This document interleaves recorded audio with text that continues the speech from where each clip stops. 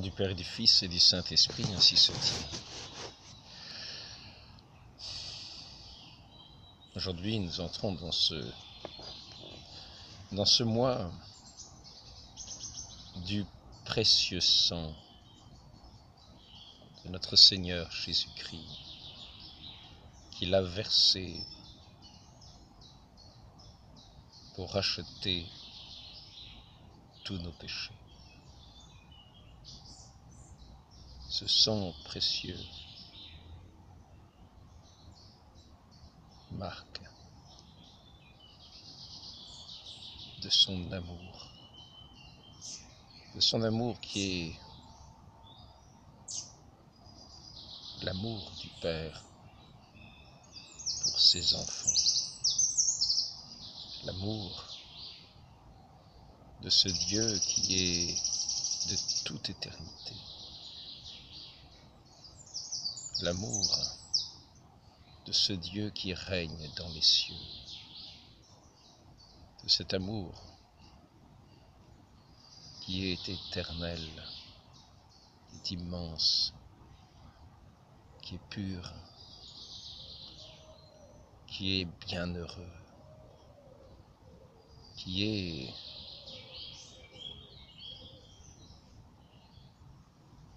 cet amour tout-puissant qui a créé ce monde.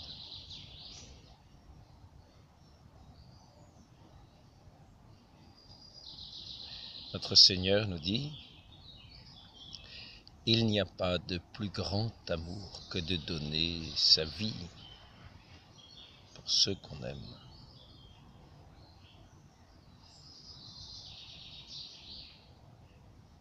Et notre Seigneur dans toute sa vie à témoigner de cet amour du Père, de cet amour du Fils pour le Père.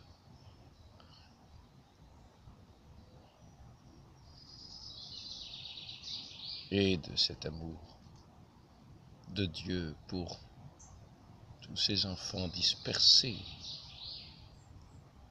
sur cette terre, dans sa création. Il a créé par amour. Il a créé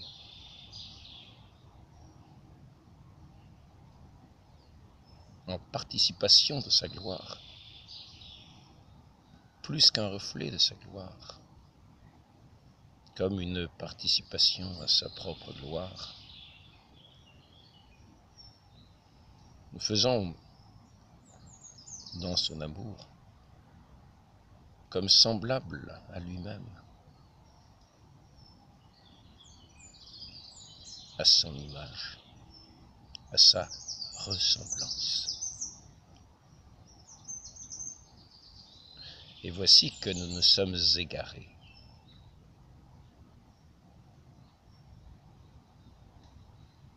Nous sommes pervertis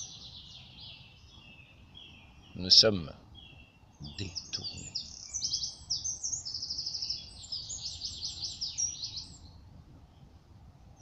De notre si bon Père, de notre si bon Dieu, nous avons perdu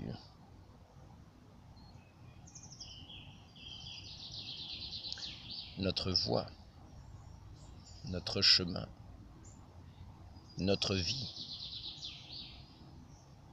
Nous avions été placés sur terre comme le milieu du paradis. Dans cette grâce insigne de Dieu, dans cette amitié de Dieu, où il parlait avec les hommes, avec Adam, avec Ève.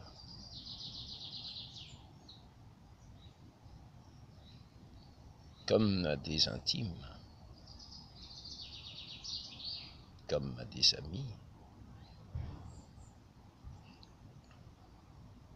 en leur donnant néanmoins une loi d'amour, une loi de, de respect de lui-même, nous indiquant qu'il fallait demeurer dans le respect de celui qui demeure notre Dieu, comme notre Père. Nous a placés dans cette terre, sur cette terre, dans ce paradis,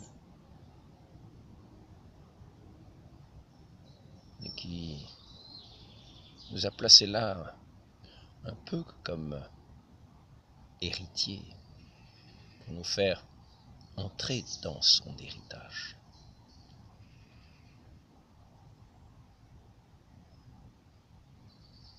Jouir, jouissant de tous ces dons de grâce dont il est abondant, dont il est dont il est plein, dont il est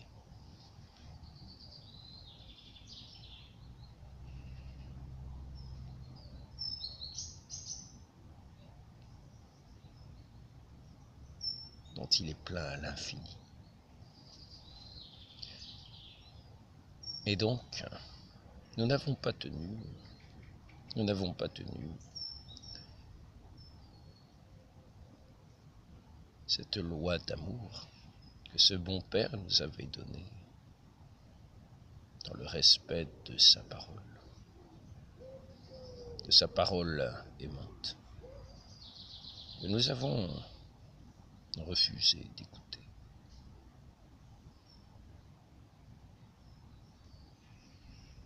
Et nous avons erré chacun sur nos chemins de mort. Le Christ nous a été promis pour restaurer notre humanité comme celui qui serait notre salut, comme celui qui serait notre voie nouvelle. Pour tous ceux qui, héritiers d'Adam, au lieu d'être devenus héritiers de ce Père éternel, ont hérité de ce péché qui nous condamne à cet enfer éternel que nous avons mérité avoir rejeté celui qui est l'amour éternel.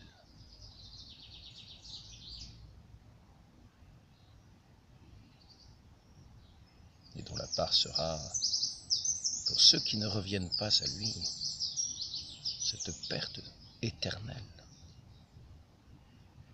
de cet amour éternel.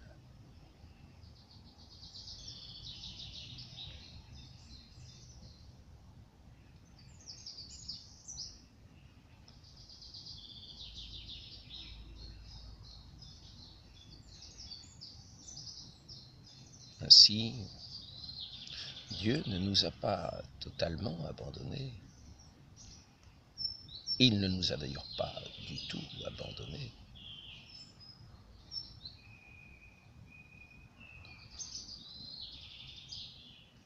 Il a promis dès l'origine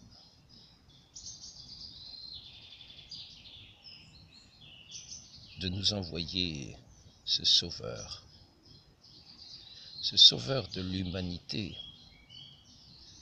pourrait restaurer tous ceux qui prêteront l'oreille à sa parole.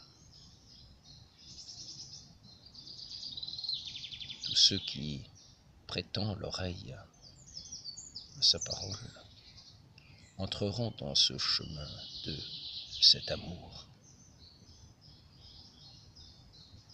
voulait nous prodiguer, qu'il nous a prodigué dès l'origine.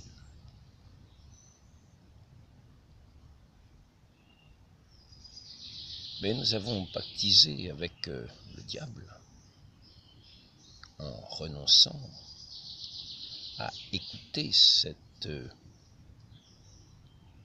alliance du jardin du paradis, cette alliance qui nous invitait à demeurer dans le respect, dans l'amour de ce Père si aimant.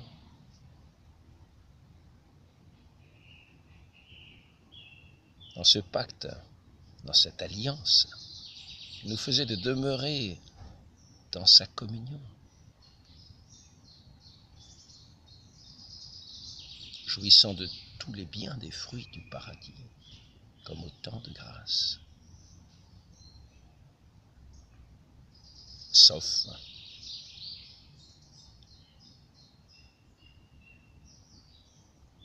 à ne cueillir que d'un seul, que des fruits d'un seul arbre. Cet arbre de vie placé au centre, au centre de ce paradis. C'était là cette alliance que nous avions fait avec lui. Il nous avait demandé de tenir en marque de notre amour.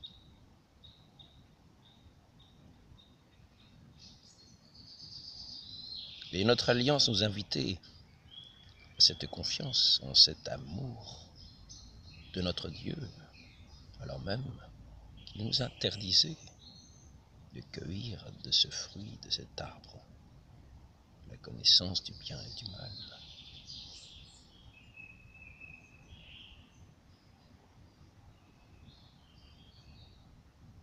Nous avions la connaissance de ce Dieu, et cette parole nous invitait aussi à cette confiance qui est une marque une vie qui est la vie de l'amour.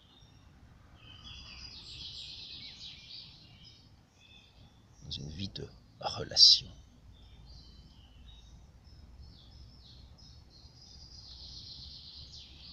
Entre deux êtres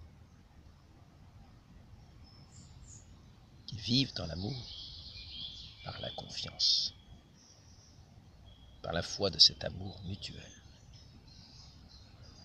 Ainsi, la privation qu'il semblait nous être faite de ne pas cueillir de l'arbre ne devait pas altérer en nous le sentiment, cette confiance dans cet amour du Père céleste.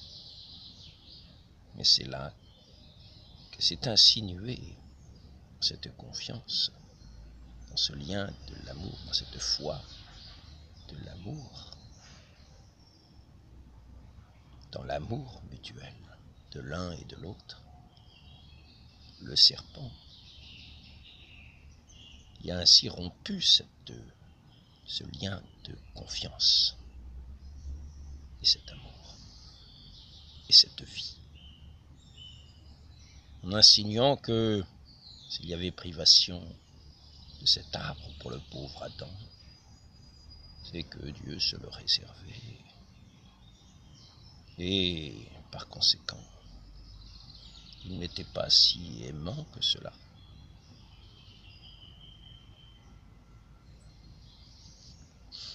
Or, toutes les grâces de Dieu, toutes les œuvres de Dieu, toute cette familiarité de ce Dieu, la vie de Adam et Ève, aurait dû l'incliner à la confiance. Une confiance indéfectible. Mais cela n'a pas été le cas. Cette alliance entre Dieu et l'humanité a été rompue quand Adam et Ève ont perdu cette confiance en leur Dieu n'ont plus écouté sa parole et ont d'une certaine manière pactisé avec le diable en cueillant de ce fruit défendu. Dans cet acte de rébellion dans lequel l'entraîné, l'homicide et le menteur, l'insinuateur de la haine dès l'origine.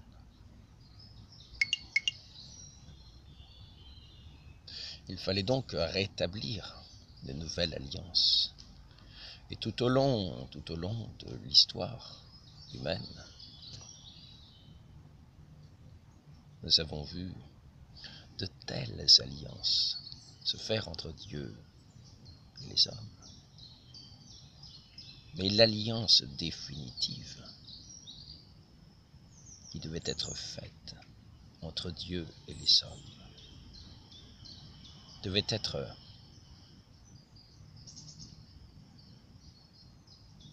non plus simplement une alliance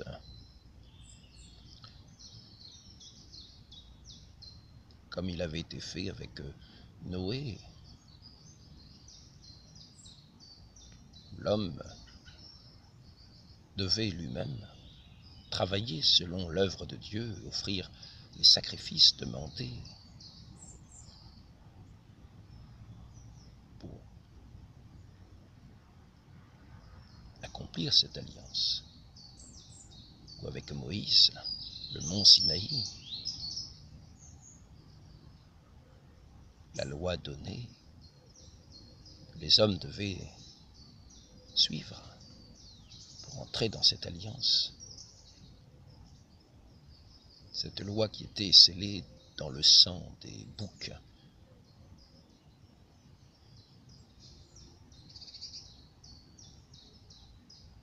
De tout bétail. Israël disposait, alliance le sang des boucs qui était là pour euh, purifier du péché, pour sacrifice pour le péché, sacrifice pour le pardon. Et l'alliance que Dieu a établie et qui est insurpassable les hommes, c'est celle où Dieu lui-même s'est offert en sacrifice. Et il n'y a pas d'amour plus grand que de donner sa vie pour ses amis, nous est-il dit. Mais c'est Dieu lui-même qui offre sa vie en sacrifice par amour pour les hommes. Et il n'y a pas de sacrifice plus grand que celui de ce Dieu qui est l'amour même, et dont le sacrifice est le sceau de l'amour, de cet amour insurpassable, manifesté une fois pour toutes, non pas manifesté une fois pour toutes, de ce sang, de cette alliance nouvelle, versé une fois pour toutes, parce que cet amour est éternel. Et que son oui n'aura plus jamais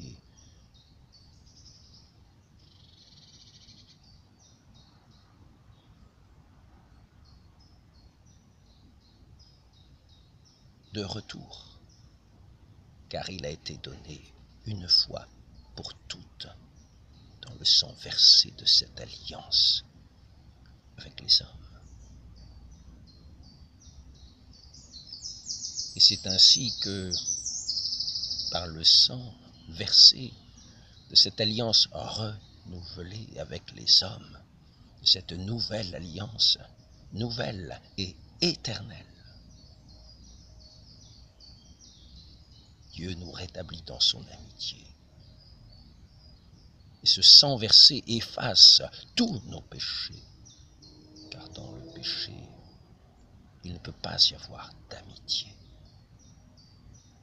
péché qui est l'œuvre de mort, l'esprit de mort, l'esprit de mensonge, l'esprit homicide.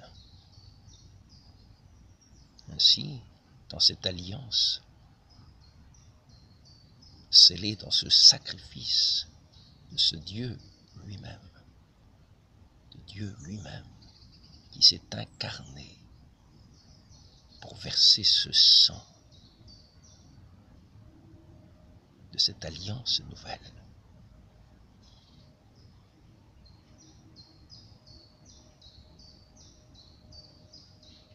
Ce sang qui crie plus fort que celui d'Abel, qui crie plus fort que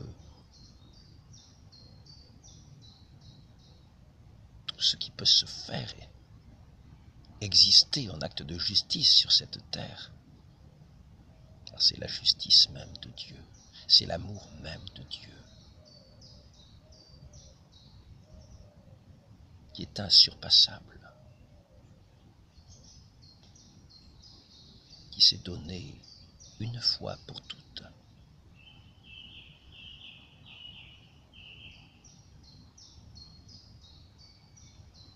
Et qui ne peut pas être versé, qui ne peut pas être resacrifié à nouveau sans faire injure à ce sacrifice définitif, à cette, à ce, à cette alliance définitive.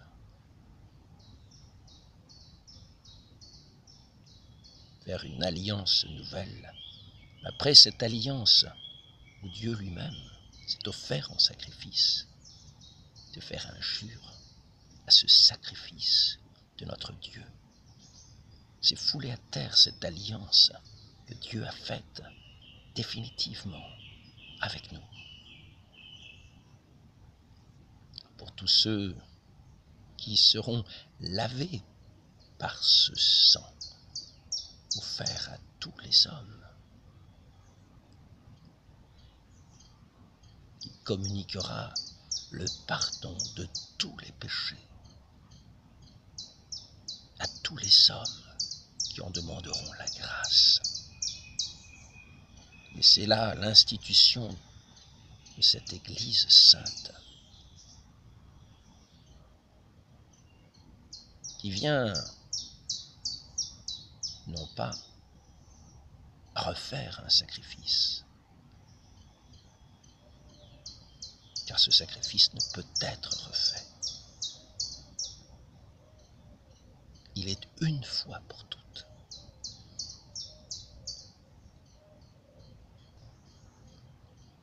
Et le fruit de ce sacrifice est redonné chaque jour sur nos autels, sur les autels de cette Église qu'il a instituée pour lesquels il a institué ces prêtres de cette nouvelle alliance, qui vont faire, ainsi que l'a dit, ce que notre Seigneur a fait et qu'il leur a dit de continuer de faire en mémoire de ce sacrifice unique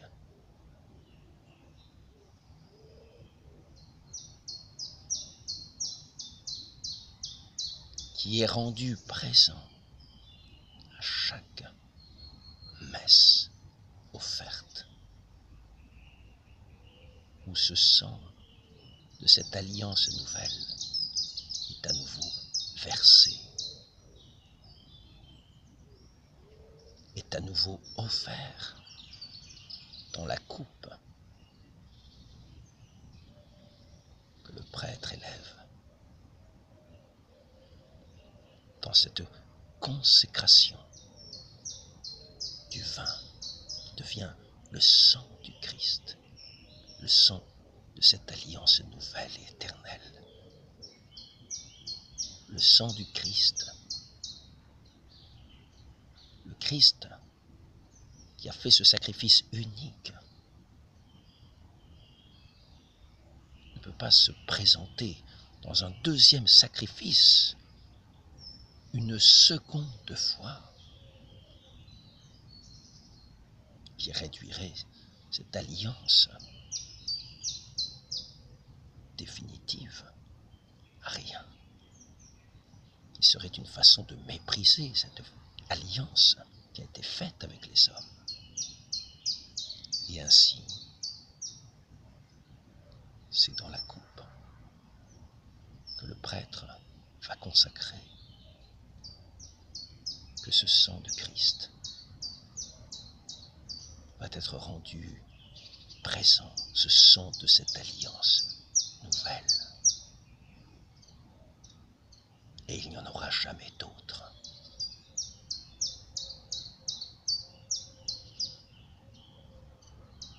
Car il n'y a pas de plus grand amour que de donner sa vie pour ses amis. Et cet amour c'est l'amour de Dieu même qui a offert sa vie pour l'humanité. Et ainsi, dans ce ministère du prêtre, le sacrifice est continué. Ce sacrifice, ce sang du Christ, est à nouveau offert à chaque messe pour le salut de tous les fidèles, pour la plus grande gloire de Dieu. Car s'il n'y a pas de plus grand amour que de donner sa vie pour ceux qu'on aime, n'oublions pas que le Fils aime le Père et que ce sacrifice, le don de sa vie, est aussi le don de sa vie au Père céleste, dans cet amour parfait. De ce Dieu qui s'est fait homme et qui, comme homme, comme Dieu, revêtu de notre humanité, qui a pris notre chair, qui s'est fait homme, est une seule personne dans la personne de notre Seigneur Jésus-Christ, qui revêtu de cette nature humaine, de cette nature divine, ce qui lui permet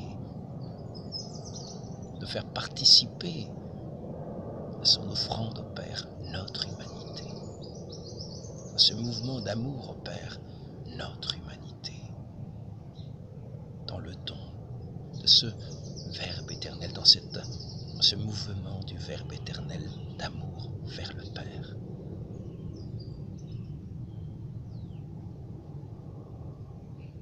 Et ainsi, par le sang de cette alliance,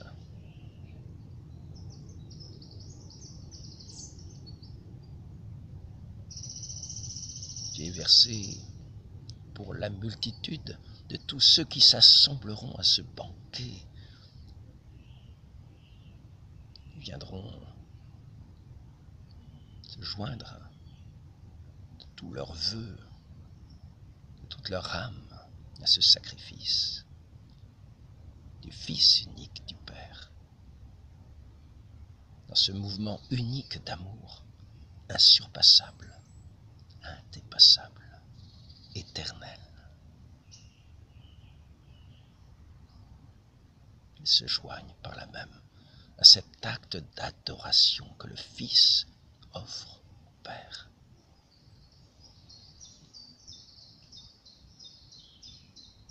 De la même manière, de la même manière, nous n'allons pas voir des fleuves de sang dans toutes nos rivières sur cette terre. Non. Ce sont des fleuves d'eau qui coulent dans nos rivières. Et au Jourdain, notre Seigneur a été baptisé par Saint Jean-Baptiste. Il l'a montré comme étant l'agneau de Dieu, l'agneau sacrifié, qui doit verser son sang pour l'humanité, en l'honneur du Père, dans cette alliance nouvelle. Et c'est ainsi que Saint Jean-Baptiste désigne, désigne le Christ, ceux qui viennent à lui. Voici celui qui doit venir, l'agneau de Dieu. Et lorsque le Christ descend dans le fleuve, baptisé par Saint Jean-Baptiste, et que cette voix du Père le désigne comme étant son Fils bien-aimé, sur lequel repose l'Esprit d'amour, l'Esprit Saint.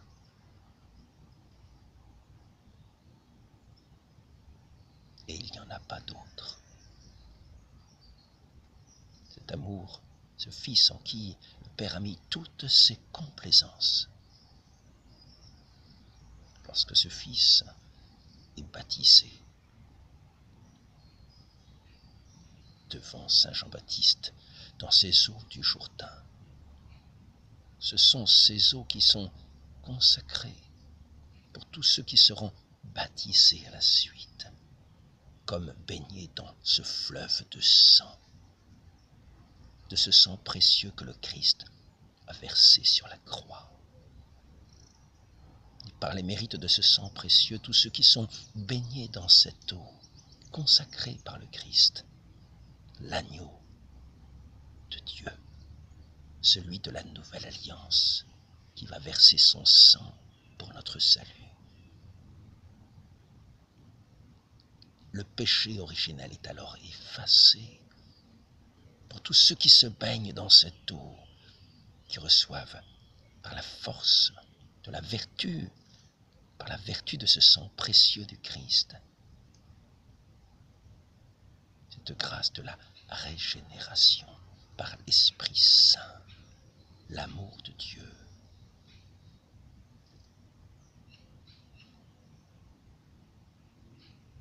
Qui vient restaurer le cœur des hommes.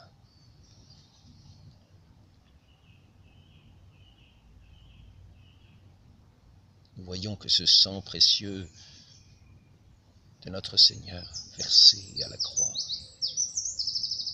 est unique et qu'il n'y en aura pas d'autre pour notre salut. En cela, il est précieux à l'infini. Il est le don de Dieu et il est le salut des hommes. Et il n'y en a pas d'autre. C'est l'alliance de cet amour sublime, de ce Dieu fait homme, pour donner sa vie pour ses amis. Et il n'y a pas de plus grand amour que cet amour-là.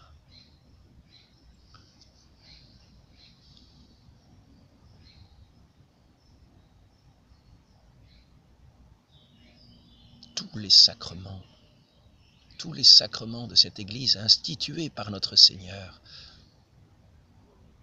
pour offrir ce saint sacrifice de cet agneau divin.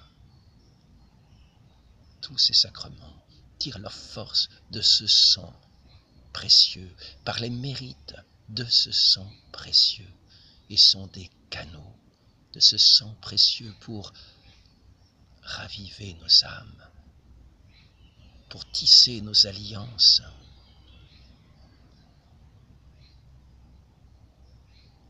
pour nous restaurer dans cette communion à notre Dieu.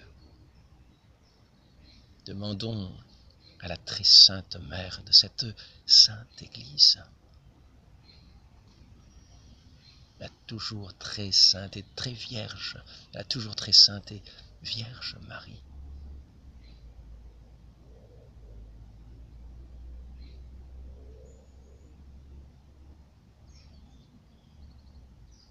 cette grâce, demandons-lui cette grâce d'honorer notre Dieu qui se donne dans ses sacrements, en particulier sous les espèces du pain. Il se donne en communion, en nourriture, pain vivant de nos âmes pour les fidèles, en hostie vivante au Père éternel.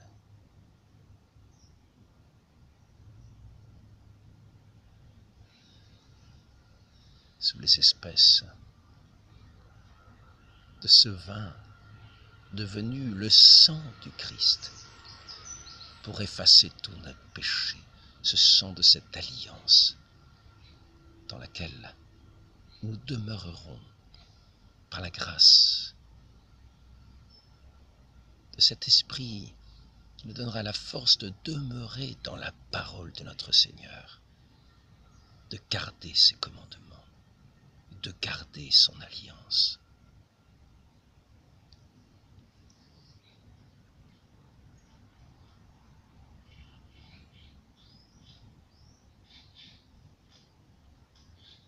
Sur les linteaux,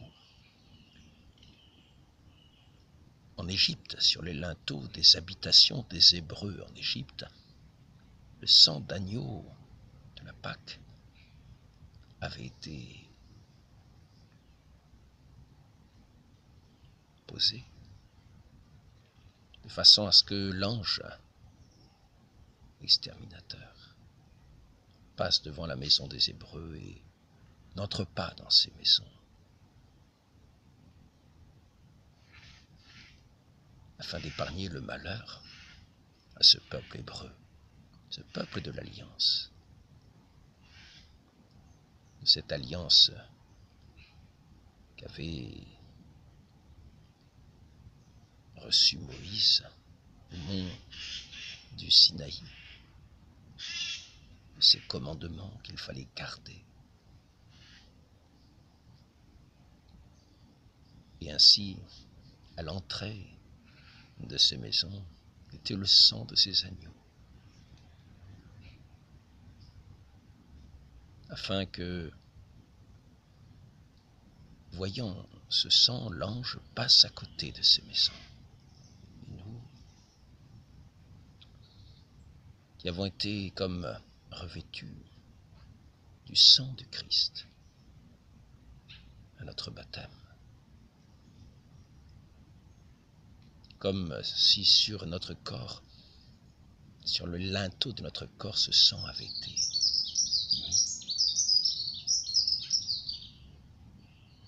afin que la bénédiction de Dieu demeure sur nous, et que la malédiction ne pénètre pas en nous. Ne faisons pas de nos lèvres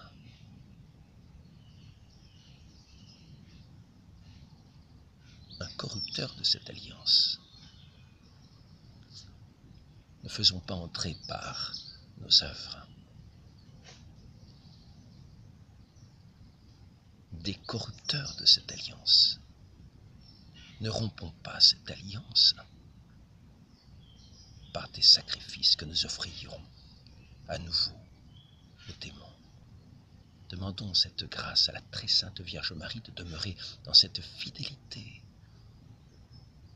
de garder cette parole de notre Seigneur qu'il a scellée par son précieux sang à jamais. Ainsi soit-il. Au nom du Père et du Fils et du Saint-Esprit, ainsi soit-il.